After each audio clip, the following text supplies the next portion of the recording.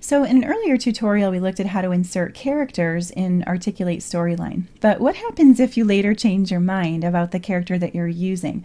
Or maybe you just want to switch the character's expression or their pose or something like that. Well, the good news is you can do that really quickly without having to delete the character and reinsert a new one from scratch.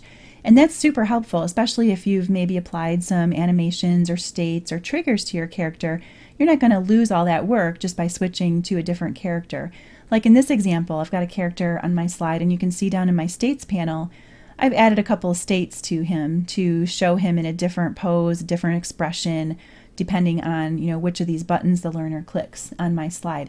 I've also added an animation to him. Up here in the animations tab, I've got an entrance animation that makes it look like he's kind of sliding into the screen from the right hand edge. But let's say my client doesn't really like this character. Let's say that they'd rather maybe have a woman instead of a man in this particular scenario. So what I can do is select my character, and when I do that, I'm going to have a tab up here under Character Tools called the Design tab. And if I click on that, this is where I can make whatever changes I want. So over here, I would click on Character, and then I could swap that character for a different one. Like maybe I'd rather have her instead of the guy. And then see down here in my states panel, when I make that change, I didn't have to go through the work of changing my states. Storyline makes that switch for me, so that saves me a lot of clicking.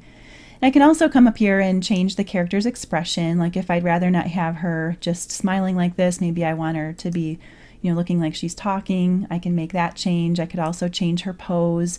Um, maybe instead of having arms down at the sides, I could have her um, kind of gesturing like this, or I could even change the perspective as well. And you'll notice down here that that change is not going to mess up anything that I've customized in my individual states.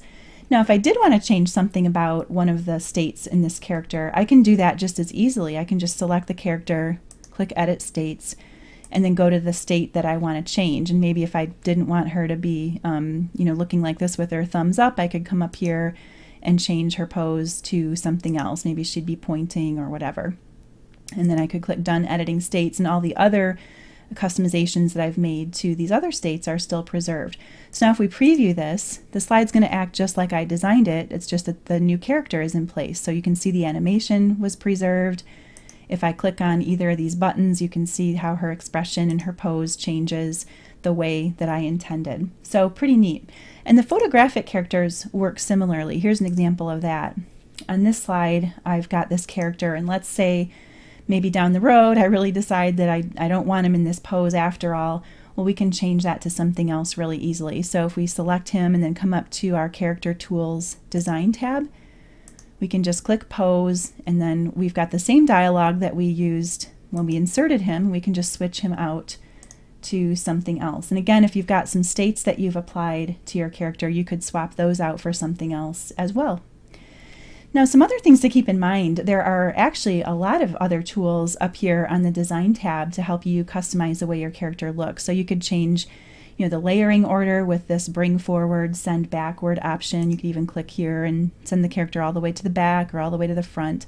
I should also mention though that down in the timeline you could do that as well. You can just drag that character to a different spot on the timeline to change the order of your layers if you've got lots of objects on your slide. And you've got some other options up here too for the alignment of the character. You could also group the character with other objects. You could even rotate the character. Um, and just like with any other image, you can crop the character or assign a specific height or width to that image. Um, and then in addition to those, if you go to the Format tab, you've got even more options for customizing the way your character looks. You can apply any of these effects that you could to any other image. So that's a quick look at some ways that you can customize your inserted characters in Articulate Storyline.